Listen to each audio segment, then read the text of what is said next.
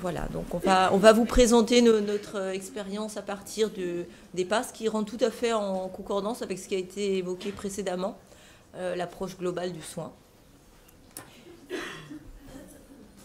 Euh, donc les, permanences d'accès aux soins de santé sont des dispositifs qui ne sont pas encore forcément très bien connus. Donc euh, voilà quelques éléments principaux. Ce sont des consultations d'accès aux soins pour les démunis. Qui ont été mises en place dans le cadre de la loi de lutte contre les exclusions de 1998. Certaines consultations existaient auparavant. La première, c'était à Saint-Antoine en 1992 et la deuxième à Saint-Louis en 1993. Il y a environ 400 passes en France et deux modèles principaux. La passe transversale où une assistante sociale va intervenir dans toutes les consultations. nous, on va insister sur le modèle de la passe dédiée où dans une même unité de lieu, il y a plusieurs professionnels, des médecins qui sont plutôt des généralistes, internistes, qui ont une approche globale du soin, des infirmières, des assistantes sociales et d'autres professionnels le cas échéant. Donc on est dans une approche euh, d'intégration des différentes dimensions du soin. Euh, c'est une médecine qui est donc euh, ambulatoire, qui exclut l'hospitalisation.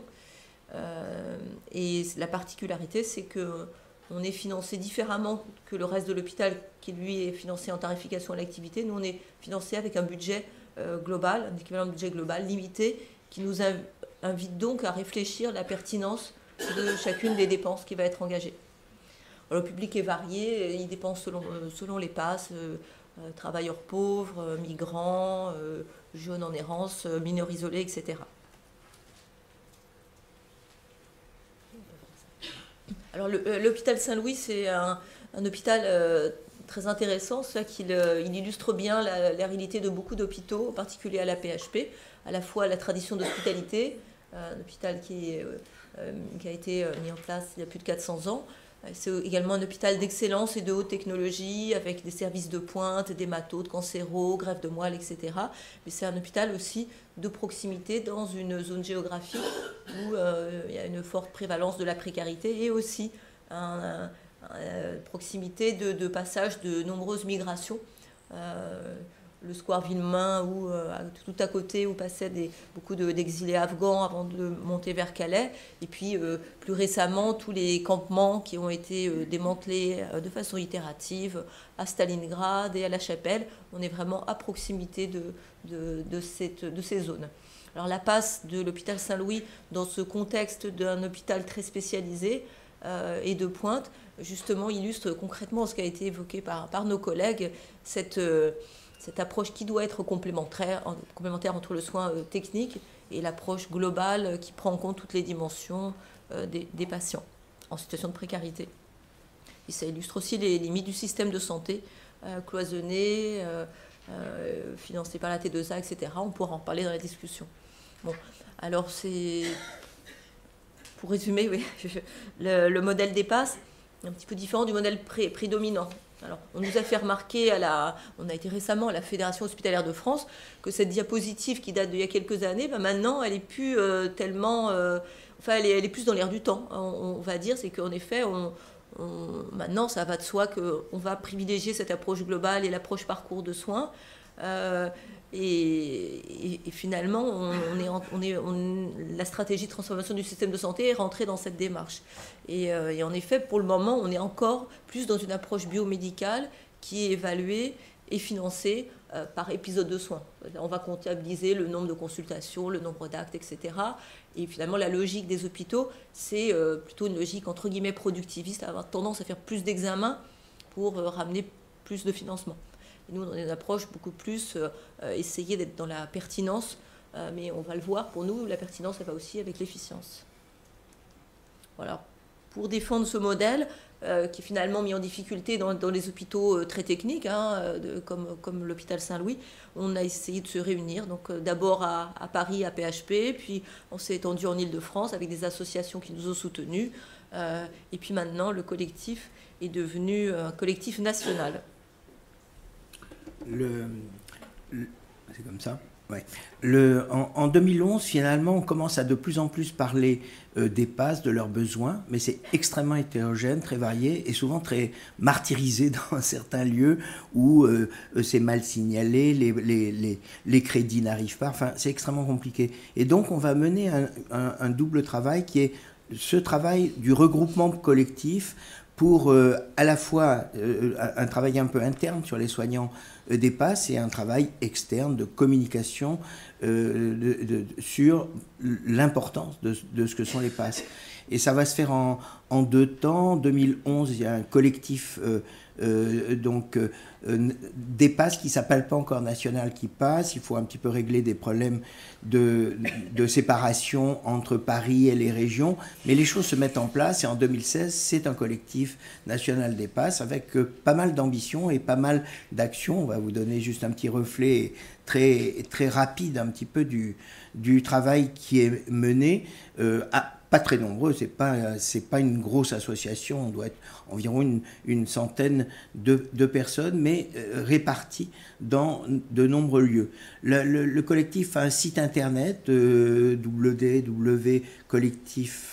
www.collectifpasse.org qui est assez regardé, qui est une façon un petit peu voilà euh, euh, anonyme mais réelle de, diffuser un certain nombre de choses, de retrouver des, actions comme celles que je vais vous montrer euh, très rapidement. Donc il y a, vraiment euh, comme ça des, ambitions multiples qui sont menées de façon à la fois un peu artisanale. C'est, ça repose beaucoup sur un, volontariat et donc c'est pas si évident. Les financements sont quasiment nuls, donc c'est pas facile. Mais bon, les choses, euh, les choses avancent. notamment, alors on, part un petit peu de Paris, de l'hôpital Saint-Louis. les, premières rencontres ont lieu euh, à Paris. Et puis, vous voyez, en 2012, c'est déjà un colloque national des passes. Euh, euh, on est volontiers un petit peu provocateur volontairement. les passes modèles d'une éthique de la société, c'est un peu prétentieux, mais c'est un peu, ça stimulera un petit peu les, échanges et la discussion. Il y aura beaucoup de monde, ce qui montre que ça répond souvent à une attente et un besoin de soignants divers. Euh, je vous parlais un petit peu de la diversification dans les régions. Euh, euh, Chambéry, Marseille, Toulouse, et finalement on s'aperçoit que chacun d'entre nous, de ces groupes souvent portés par une personne un peu convaincue, comme souvent dans ces histoires-là, a une personnalité un peu particulière. Moi je parle souvent de Chambéry parce que c'est un collègue qui a développé un modèle de co-formation avec des personnes précaires, des SDF ou d'autres personnes comme ça, sur une, un, un modèle de, qui est le modèle de ATD Carmonte, de présentation conjointe. Et c'est quelque chose qui est très, très fécond, qui est assez différent finalement de ce que peut mener Claire à, à, Saint-Louis, mais ce sont des éléments complémentaires justement pour montrer euh, euh, qu'on qu'on a une diversité, mais qu'il y a quand même euh, une unicité dans, dans toutes ces histoires-là. le, je repasse à, Alors, le, parmi les, réunions, comme a montré Denis, hein, au début c'était des réunions de, deux heures comme ça. On, a constitué des, grandes journées de, travail, des journées et demie, et puis on y a adossé pendant plus, d'une saison euh, des intervenants, des intervenants de sciences sociales et humaines en particulier. Et finalement on a travaillé un fil rouge qui était euh, la place de l'humain dans le soin. Et, finalement, on, a conclu cette, cette saison par un colloque au ministère euh, de la Santé. C'était donc notre deuxième colloque euh, au ministère de la Santé. Et c'était sur cette thématique euh, soigner l'humain, repenser le sens de la performance du soin. Donc c'était déjà l'idée de se dire bon, il faut qu'on retourne les logiques. l'humain, ça peut être aussi un facteur de performance et on verra d'efficience. Et à partir de, toutes les contributions et de contributions d'auteurs extérieurs, on a colligé et, et, co-écrit cet ouvrage on a mis un exemplaire ici qui s'appelle Soigner l'humain, manifeste pour un juste soin au juste coût. L'idée étant qu'on va défendre euh, cette, alliance possible entre ces dimensions qui apparaissent souvent inconciliables. Euh, alors quelques, voilà, quelques grands, grandes euh, phrases comme ça, des, points un peu saillants qu'on trouve dans le livre alors qui parle des passes, mais qui ne parle pas que des, passes. On a, on a mis des entre guillemets grands noms de, l'éthique, euh, de la DGOS, de la DGS, etc., qui ont contribué, qui parlent euh, de, cette approche de décloisonnement, comme on, parle beaucoup ici, de l'approche globale, d'impliquer le patient. Euh, et voilà, on va identifié quelques, quelques points un peu clés. Justement, c'est le directeur général de l'Agence nationale d'appui à la performance qui évoque l'idée de, de, ces dispositifs qui augmentent la performance du système de santé, qu'on est dans une réponse globale et durable, une approche plus performante liée au partage des connaissances, hein, la transdisciplinarité. Et puis euh, Benoît Vallet, qui était donc le directeur général de la santé, qui euh, a évoqué le modèle de la performance de l'humain et une nouvelle approche de la pertinence médico-économique. On a développé aussi euh, ce décloisonnement en s'associant avec l'association des directeurs d'hôpital, là aussi, pour euh, essayer d'exploser ces, barrières qui apparaissent euh, aussi dans ces visions inconciliables. Il y aurait d'un côté le soin et de l'autre côté la rigueur budgétaire. Et finalement, bah, le travail en commun avec les, hôpitaux publics, les directeurs des hôpitaux publics, a, montré que euh, peut tout à fait euh, être dans une démarche de co-construction et de concilier euh, ces valeurs. On pourra en reparler dans la discussion. Voilà, ça c'était ce, colloque avec le, directeur, le président de l'association de l'ADH en particulier, et avec une réflexion très, très enrichissante et qui nous a amené à la publication d'un article que vous pouvez retrouver donc, dans la revue hospitalière de France euh, c'est une, coécriture, donc euh, aussi originale entre euh, médecins, directeurs d'hôpitaux. Et avec cette illustration, on voit bien actuellement la, faille qui est en train de se creuser entre la valeur du soin et, les, questions économiques. Et, pour nous, l'idée, c'est de façon concrète, dans notre expérience dans, dans, les passes, mais finalement de façon plus globale dans le décloisonnement pluriprofessionnel, c'est d'allier euh, le meilleur intérêt pour le patient dans cette approche personnalisée des soins, euh, mais également pour les professionnels de réduire la charge, euh, en particulier la charge mentale, de, réduire la, charge de travail et d'être vraiment une ressource pour, pour les collègues et le reste de l'institution. Et puis derrière, aussi cette idée d'éviter les dépenses inutiles dans une perspective de durabilité du système de santé. Alors, juste un petit focus pour dire qu'en effet, euh, ben, étonnamment, euh, en 2015, notre euh, sous-titre du, livre, c'est exactement l'orientation que, met la ministre Agnès Buzyn et la politique actuelle. Pertinence et efficience, juste soin, juste coût, ben, c'est la même chose. on revient un peu sur le, fonctionnement de l'équipe de Saint-Louis, un peu pour illustrer un peu ce qu'on est en train de vous raconter. Euh, ça, c'est le, les docteurs, la, présence des médecins. En fait, le, choix, enfin le mélange entre les choix et les contraintes font qu'il y a beaucoup de médecins vacataires, mais qui du coup sont euh, euh, bi ou pluri-appartenants. On, a un, collègue qui est qui vient à la passe et qui sinon retrouve son cabinet de généraliste de ville, d'autres qui sont dans des centres de santé pluridisciplinaires. Et ça fait une diversité qui est euh, tout à fait euh, intéressant.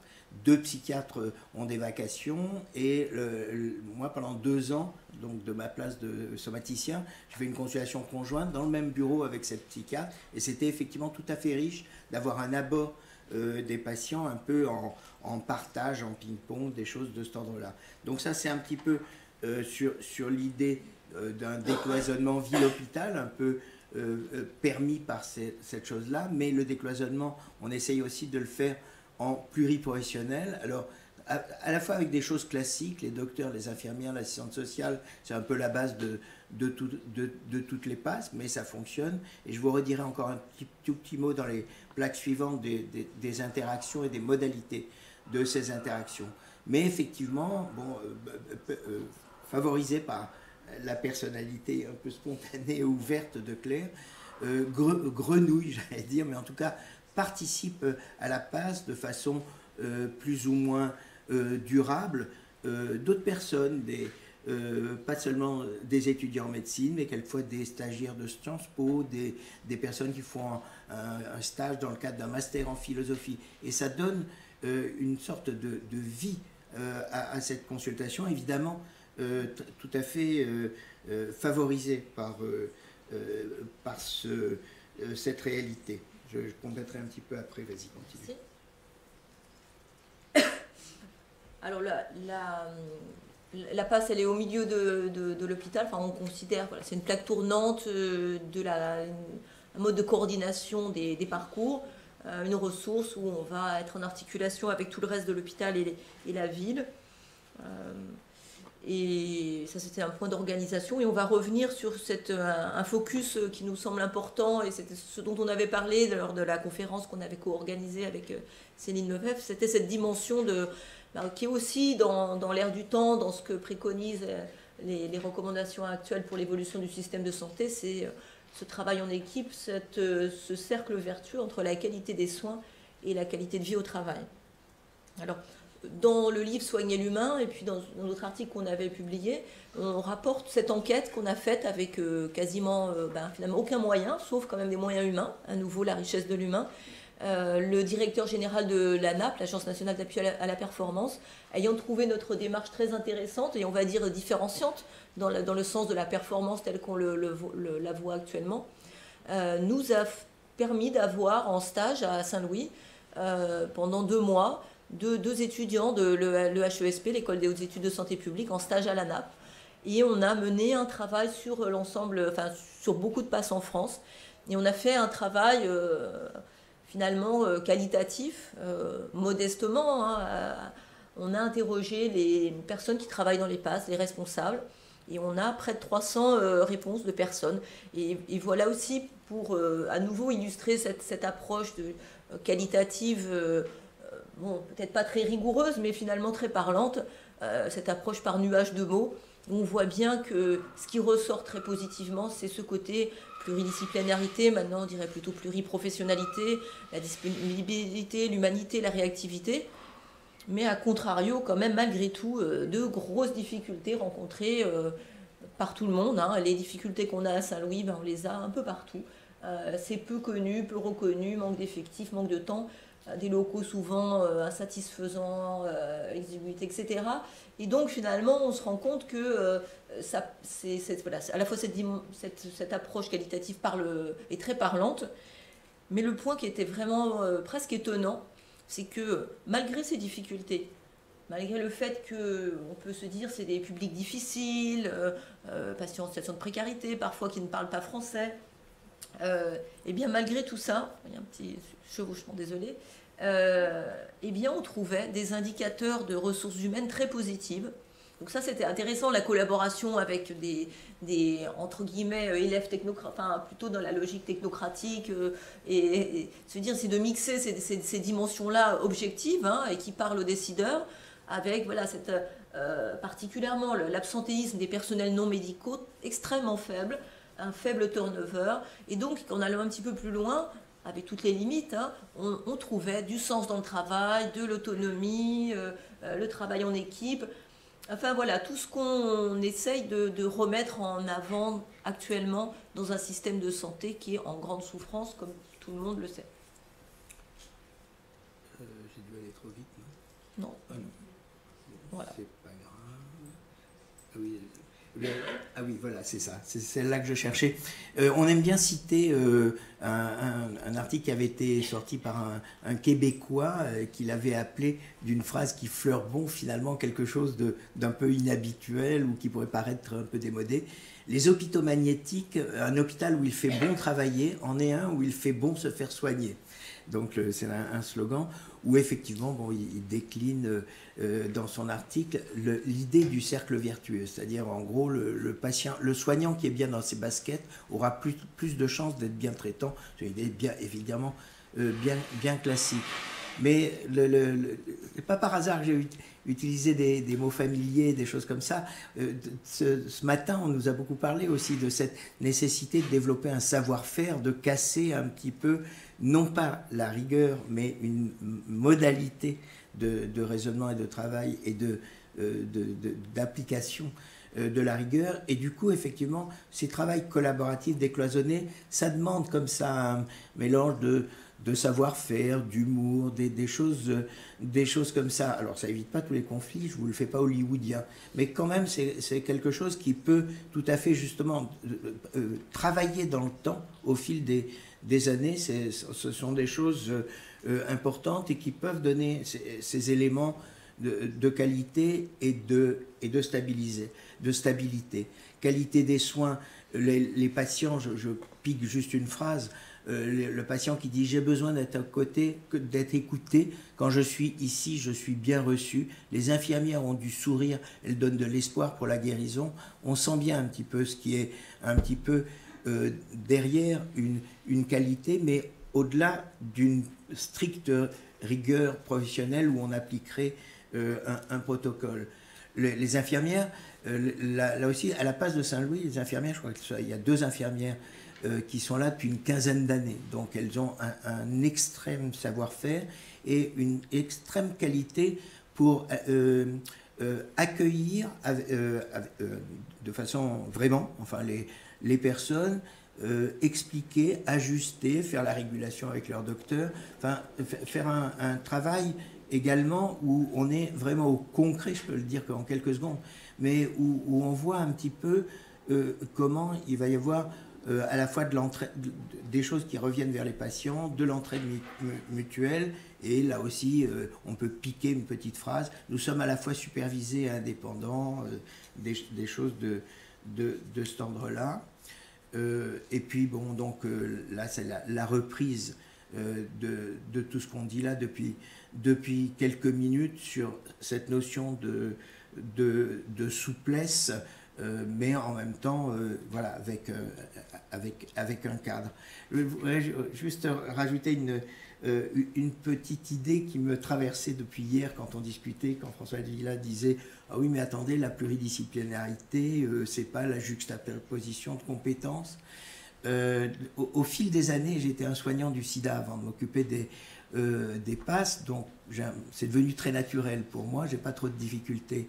Par contre, je me suis aperçu que c'était quelquefois extrêmement douloureux pour des universitaires, vraiment très douloureux de devoir s'habituer euh, à ces choses-là. Et comme souvent, quand c'est douloureux, on cherche un peu à mettre à distance. Donc, euh, effectivement, alors justement, maintenant, comme la roue est un petit peu en train de tourner, c'est différent. Mais pendant un moment, ces fonctionnements-là étaient volontiers dévalorisés comme manquant de, manquant de rigueur. Or, en fait, euh, si on veut mettre comme ça, prendre en compte ce qui a été dit aussi juste avant par les, généralistes, si on veut prendre euh, euh, en compte les personnes dans la vraie vie, euh, on, est, obligé d'avoir comme ça ces, méthodes relativement souples et, presque simplistes en apparence.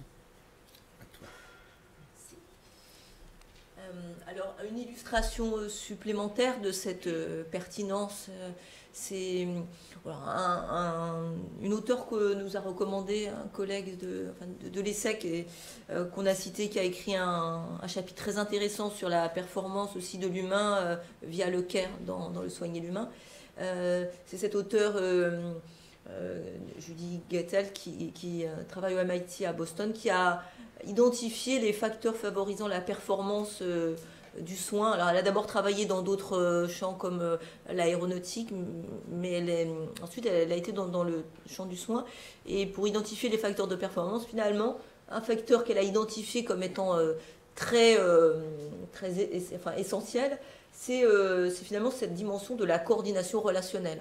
Finalement, ça paraît vraiment très basique, mais finalement, nous, on se rend compte de façon, finalement, c'est vrai que simple, hein, simple et étonnamment tellement simple, que d'être tous ensemble dans une unité de lieu, de partager les informations, partager la connaissance.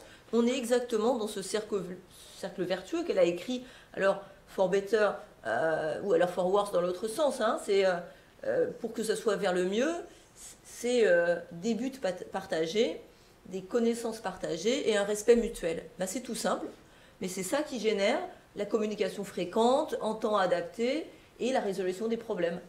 Parce qu'à l'inverse, si on n'a pas ça, si tout est en silo, bah, comme on le critique actuellement, bah, chacun croit résoudre son problème et on est dans une résolution euh, centrée sur le, doigt, quoi, comme on dit finger pointed. Et tout ça, en effet, le travail, c'est comment, euh, et c'est ça qui est intéressant dans ce travail aussi avec euh, Céline et puis la, personne en médecine, c'est comment on arrive à le, montrer alors qu'on n'est pas du tout dans du quantitatif. Et c'est vrai, nous, à notre petit niveau, très modestement, avec des étudiants qui viennent, on, lance des, bribes, des, peut-être des, idées qui pourront être reprises de façon plus structurée. Et par exemple, cette étudiante de l'ESSEC, elle, a, nous a, voilà, dans un, elle, est, restée un mois avec nous, puis pour un petit mail de remerciement, euh, elle a écrit, euh, voilà, c'est surtout euh, la communication qui règne dans, votre équipe qui fait votre, la force au quotidien. Bah, c'est complètement, en, enfin, complètement cohérent avec ces, écrits, cette conceptualisation. Mais ça, c'est bien difficile à prouver, mais c'est presque une évidence en réalité. Ah oui, on, oui. Ah oui, cinq minutes. Voilà. Bon, alors un petit, une illustration extérieure. Hein, voilà. Alors ça fait plaisir qu'on le dit de l'extérieur. Hein. Ça, c'est un article de, oui, c'est bien, bien sûr, si nous, on parle de nous-mêmes, ça n'a pas tellement de, portée. Mais Hospimedia, c'est quand même le, le, média des hôpitaux qui, tous les jours, publie euh, a une grande liste de diffusion de tous les acteurs de la, de la santé, euh, qui, qui, nous a fait, qui a fait un reportage sur notre passe entre humanité et efficience des soins. Donc, c'est sympathique comme titre. Alors, pour aller sur la, un petit peu sur la, encore plus loin sur la pertinence euh, médico-économique, l'approche systémique. On n'aura pas le temps d'approfondir, mais on pourra échanger, puis sinon, si on pourra retravailler ultérieurement. On a mis en place des réunions de concertation pluriprofessionnelle, médico-sociale et éthique, où on, essaye d'aborder toutes les dimensions des problématiques. Bon, rapidement, c'est une, dame qui avait un cancer du sein, qui venait de Roumanie, et la, collègue euh, vient euh, d'oncologie pour nous dire, ben, on, a décidé de lui faire une chimio. Comment on fait, sachant qu'elle n'a pas de prise en charge et que ça risque d'être compliqué Et finalement, très simplement, la discussion, elle a tourné à quel est le meilleur intérêt de la personne, peut-être aussi, alors on n'a pas explicité quelles, sont les valeurs de la personne, mais euh, finalement, une, dame de plus de 80 ans qui, est loin de l'hôpital Saint-Louis et tenant compte du type de cancer métastatique avec des récepteurs hormonaux, tenant compte qu'il n'y a pas de supériorité de la chimiothérapie, finalement, on a pu, euh, au fil de la discussion, dans une approche globale, proposer un comprimé d'hormonothérapie qui est tout aussi efficace, avec moins d'effets secondaires, qui évite aussi euh, de mettre un cathé central avec le risque infectieux, le risque thrombotique, la difficulté du déplacement, à, efficacité tout au moins égale. Alors, c'était un cas tout, simple, hein, qui paraît euh, peut-être comme une évidence, mais, c'est pour dire qu'en réalité, c'est pas parce que ce sont des patients qui seraient migrants, ou, euh, mais c'est simplement c'est une réflexion en effet qui serait bénéfique pour tout le monde d'aller vers plus de, pertinence et qu'en réalité, c'est pas forcément plus coûteux. Bon, je vais passer sur ce cas parce pour laisser Denis évoquer ce cas. on, se heurte à des cas euh, vraiment tragiques. Souvent, les situations sont tragiques et les décisions qu'on prend, moi je dis très souvent, on, a aussi une commission éthique au-delà même de ces, de ces réunions pluriprofessionnelles dont on est en train de vous parler, et euh, on emploie souvent le, la phrase de dire, bon, on va pas prendre une bonne décision parce qu'on n'y arrivera pas, on va prendre la moins mauvaise des mauvaises décisions possibles dans la situation dans laquelle, dans laquelle on est. C'est pas, pas une clause de style. Alors juste pour illustrer, il y avait ce monsieur algérien de 42 ans qui avait un cancer du rein terriblement évolué. Il est venu en France avec l'impression qu'on allait lui sauver la vie. Euh, du coup, il avait complètement masqué son appartenance familiale, il n'en disait rien. L'équipe de soins qui s'occupait de lui en Algérie ne voulait pas trop en parler, donc le dialogue était un peu limité. Et finalement, de nécessité, ben, on a répondu un petit peu à, son, à sa demande, c'est-à-dire de, de se soigner comme comme on pouvait. Et il a fini par mourir tout seul dans un service de soins palliatifs c'est aussi pour montrer un petit peu les, à la fois le, à quoi on se heurte et les difficultés et le voilà. Et finalement, un des gros intérêts de ces réunions, dont Claire l'a signalé, euh, réunissent les soignants, mais aussi l'administration euh, de l'hôpital. On essaye justement de de, de, donner d'emblée ou, au fil d'une rencontre une information la plus loyale possible, la plus complète possible aux personnes concernées, c'est une base éthique indispensable. Mais après, finalement, mine de rien, ces réunions-là permettent de partager le fardeau, que chacun reste, que euh, le, docteur ne soit pas dans une sorte de toute puissance pour euh, vouloir traiter les éléments sociaux ou décisionnels, économiques, financiers, euh, législatif, enfin juridique. Euh, voilà, donc c'est un, finalement aussi un, des bénéfices de ce mode de fonctionnement empirique. Voilà. Est-ce que vous nous donnez encore 5 minutes? Oula, bon, bah dommage. Alors, on a un très beau cas, voilà, qui montre qu'en effet, en silo, chacun est dans sa logique. Hein. Pour un patient comme une insuffisance rénale terminale qui arrive aux urgences, et finalement, bah, on lance, il est hospitalisé pendant plus d'un mois il est programmé en dialyse, on lui donne un traitement VIH, une demande d'aide médicale est lancée, mais finalement, en revoyant l'ensemble de sa situation et en demandant au patient ce qu'il souhaite, il s'avère qu'il a une bonne position sociale dans son pays d'origine et qu'ici, il dort euh, dans des conditions très défavorables, allongé par terre à côté de la télé dans un salon où la télé qui marche jour et nuit et il n'en peut plus. Et en réalité, quand on lui demande ce qu'il souhaite, il souhaite être greffé, greffe rénale, mais vu ses comorbidités, son âge, c'est pas possible. Et sinon, il souhaite repartir au Sénégal. Sauf que finalement, on a un peu plaqué nos intentions de soignants, comme c'était évoqué précédemment, en pensant que ce qui était bien pour lui, c'était d'être dialysé. Et finalement, on a organisé, euh, en lien avec un médecin qu'on a contacté sur place, la possibilité du, euh, retour, sachant qu'on nous avait confirmé que le traitement antirétroviral est disponible gratuitement euh, au Sénégal. C'était juste une, pour illustrer qu'en en fait, on, a vraiment intérêt, dans l'intérêt du patient, dans l'intérêt des professionnels de l'institution et aussi dans l'intérêt euh, financier, économique et, de durabilité du système, à avoir cette approche globale. Bon, alors, on passera, on passera tout ça, voilà, c'est rentable, on passe tout ça, et on va conclure. Euh, voilà, alors aussi comme l'idée d'externalité positive, c'est finalement on a dit les patients sont contents, les professionnels sont contents, euh, ça coûte pas trop, cher, on voit bien qu'on peut, mais euh, il manque aussi une autre dimension, c'est est-ce que les professionnels de l'hôpital trouvent que c'est bien? Parce qu'ils pourraient dire, mais, c'est scandaleux, ou, euh, alors ils sont nuls, enfin, mais non. On a fait ce, petit travail, on a lancé un sondage auprès de, tout l'hôpital, comme ça, sur Internet, et on a eu en une après-midi 85 réponses, un peu de, différentes professions, et là aussi, sur le mode moins, professionnel de la recherche qualitative, mais des verbatims tout simples, on voit des choses vraiment très intéressantes qui ressortent de simplement un micro-sondage lancé en un clic. Euh, voilà.